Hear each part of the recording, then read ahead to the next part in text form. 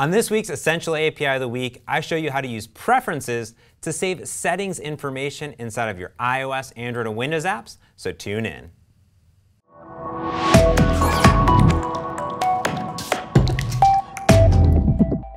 Welcome back everyone to the Xamarin Show, Essential API of the Week. Today I'm going to show you how to use preferences, which is one of my favorite APIs that we have that enables you to save little tiny bits of data, such as user preferences. So maybe uh, remembering a state that was on, or a setting, or even a feature flag in your application.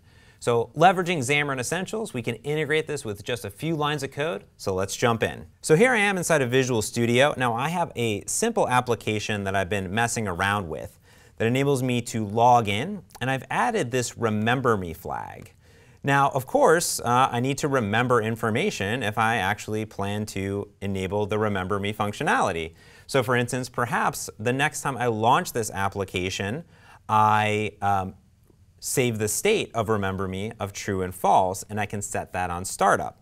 So let's take a look at the code really quick. The code here is a simple boolean that is remember me, that is simply just returning the state true and false. If I look into the XAML in the code behind here, I have a switch that is binding to that remember me state. So let's see how we can leverage Xamarin Essentials to integrate this into our app. So the first thing I'm going to do is start on docs.microsoft.com in Xamarin Essentials.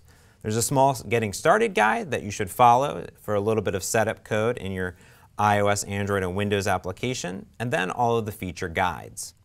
So here we can scroll down and tap on preferences that allow me to quickly and easily add persisted preferences into the app. And it's really easy to get started. There's no additional setup code that you need additionally from that getting started guide. And here's how we do it.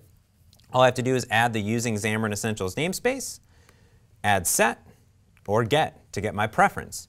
You can store, store all sorts of preferences such as strings, booleans, date time, long strings right into the preferences class. Now this is for small bits of information, so you don't want to store a whole database, but just a few things. So the key here is that you say get with a persisted key string and a default value that you want to get back. And of course, you can set it by adding that same key and then the value you want. You can always remove it or remove all preferences. So let's go ahead and integrate it into the app. The first thing that I've done is I've ensured that I've installed Xamarin Essentials into my app. Now I'm using Xamarin Forms here, but you don't have to. Um, no matter any iOS, Android, or Windows app, you can use Xamarin Essentials. So the first thing we're going to do, like it said in the doc, is to go in and add Xamarin.essentials into the namespace. All right, so next, all we got to do down here for this is come in and say, all right, well, the preferences instead of storing this value around, there's really no need for it. What we could do is simply remove that and say whenever I want to get it, say preferences.get. Now we need a key, so I'll say remember me here.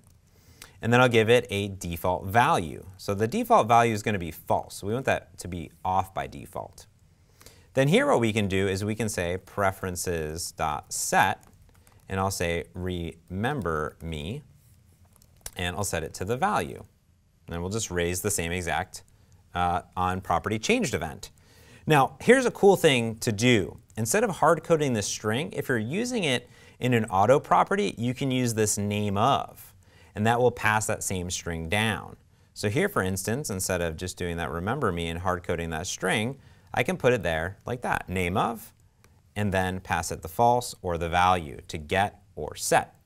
Now, you don't have to use name of. You can also use the string or a constant string uh, and put all of your preferences into a separate file. You can use it wherever you're at.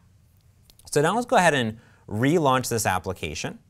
And instead of using that local property for that default value, we should see false here as the default. So let's go ahead and let it redeploy. There we go. So I can go ahead and log in, or I can toggle on the remember me state. Now as soon as I toggle that, that's going to set the preference and raise a notification if needed.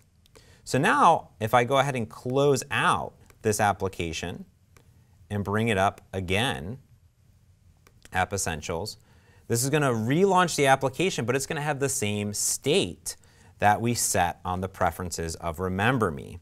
So now it's on by default. I just persisted that setting in the application with a few lines of code. And underlying, it's going to call the correct iOS, Android, or Windows API no matter where I run this application. So there you have it. We've integrated preferences into our application with just a few lines of code. What's really nice here is that you can use this throughout your entire application in your iOS, Android, Windows app, shared code, enable you to persist your different settings and state across application um, updates and different launch events. So there you have it. Hope you enjoyed this Essential API of the week. Don't forget to subscribe because we have more coming out each and every week right here on YouTube or Channel 9. So thanks for watching, and I'll see you next time.